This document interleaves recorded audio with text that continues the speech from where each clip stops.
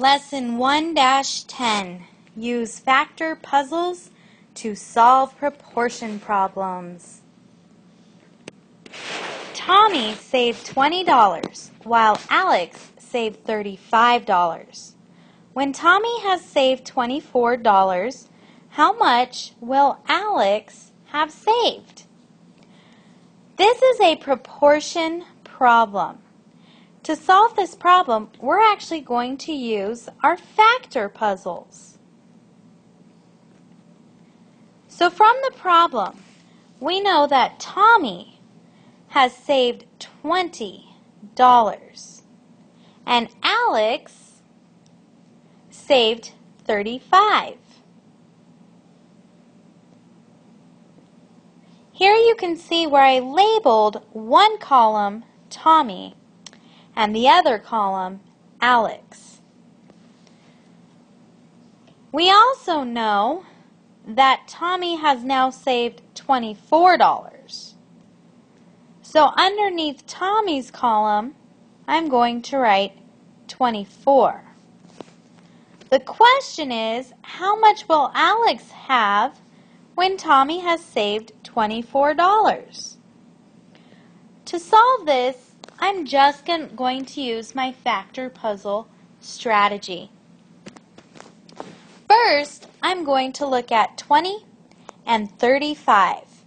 I'm going to think to myself what number goes into 20 and 35.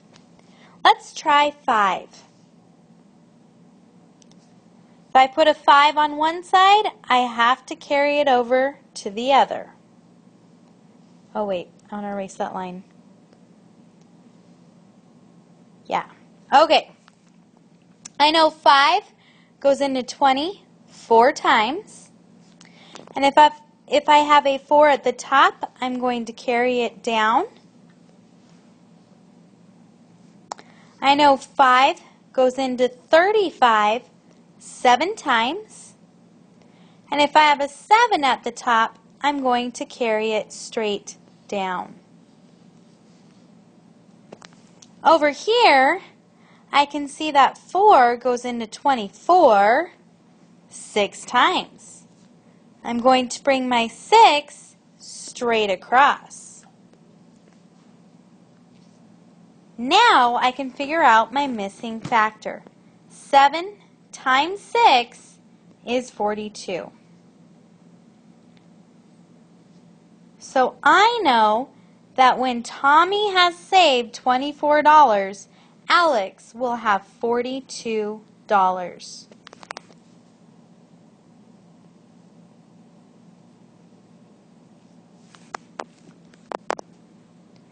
I can take my factor puzzle and turn it into a ratio table. So, I'm going to do that. Here I've set up a ratio table.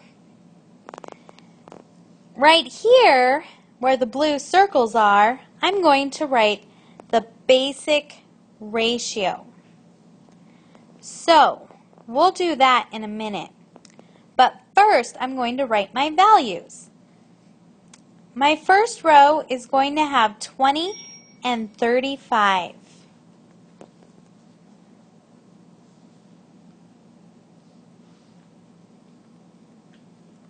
We can label these as Tommy and Alex.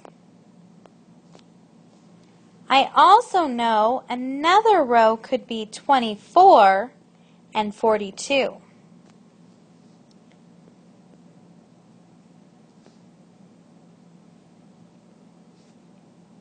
Remember, with the ratio table, we're going to have a constant rate on each side. Here I can see that we're increasing by 4 on Tommy's side and by 7 on Alex's side.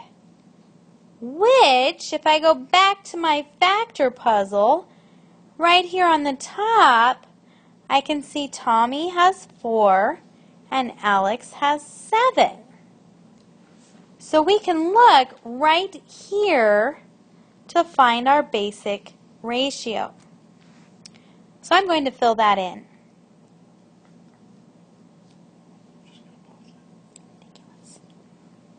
So, based off of that, I can continue counting by 4. 24 plus 4 is 28. Add another 4, which gives me 32. And I can keep filling it out all the way to the bottom. Each time, I'm just adding 4 on Tommy's side. Over here on Alex's side, I'm going to be counting by sevens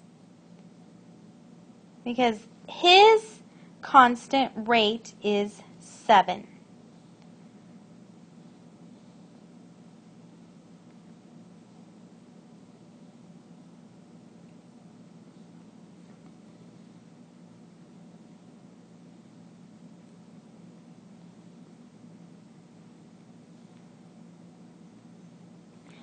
All right, so now I have used my factor puzzle to fill out my ratio table.